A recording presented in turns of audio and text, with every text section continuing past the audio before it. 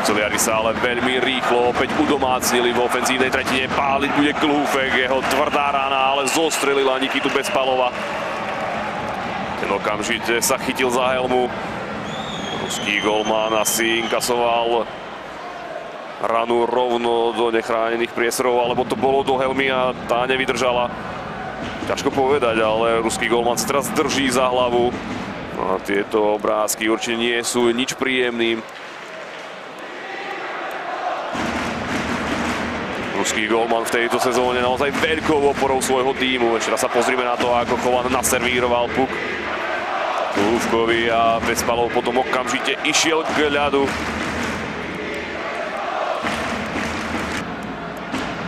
Za Bezpalov sa už dvíha z ľadovej plochy.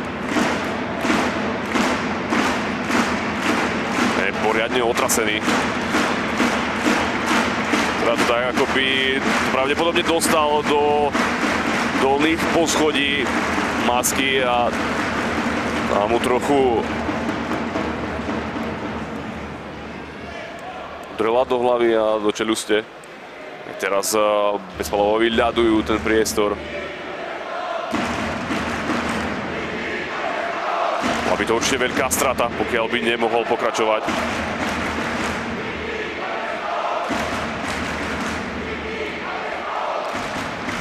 Tak hovorili sme o tom, že Bezpalov ten posledný vzájomný zápas nedochytal. Ale bolo to za úplne iných okolností. Vtedy Košičania naozaj spustili ohromný uragán. A prvú tretinu vyhrali 4-1.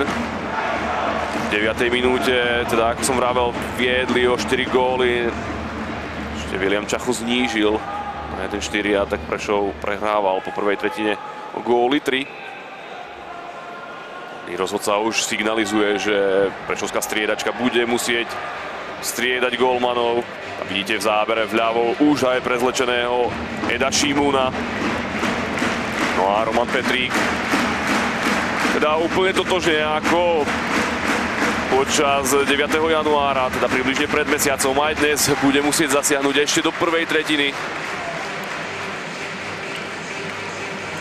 Tá Bezpalov smeruje do kabíny, uvidíme, aký bude jeho zdravotný stav. Samozrejme, najideálnejšie pre Prečovský tým by bolo, keby sa mohol vrátiť do brány.